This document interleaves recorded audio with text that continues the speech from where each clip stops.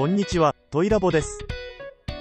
今回は2022年8月に発売したトミカプレミアムタカラトミーモール限定スバルインプレッサ WRX タイプ R STI バージョンについて見ていきたいと思います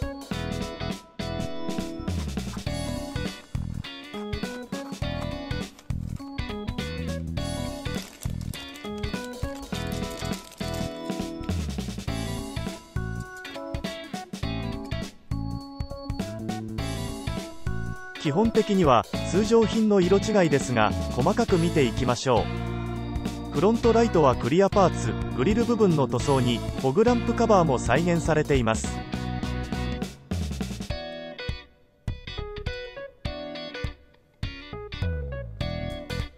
側面にはサイドマーカーや WRX の文字が再現されています。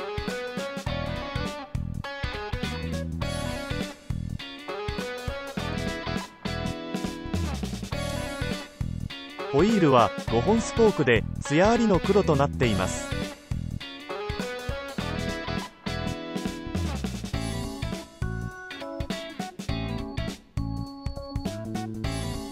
ブレーキランプもクリアパーツになっており WRX のプリントマフラーはシルバーで塗装されています。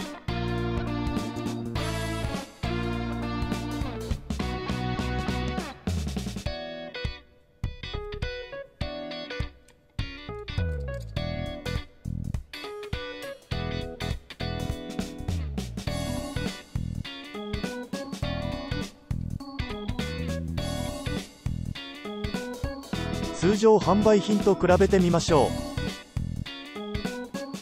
今回のホワイトもいいですが個人的には通常版のメタリックブルーの方が好きですね。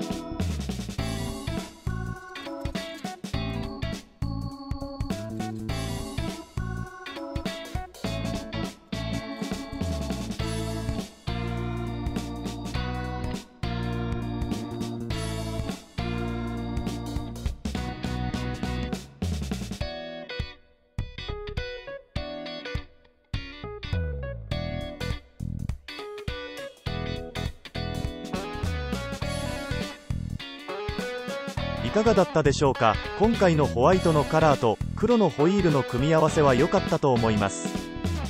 ホワイトも WRX の迫力ある雰囲気を感じられ並べて飾るとなかなかいいですね。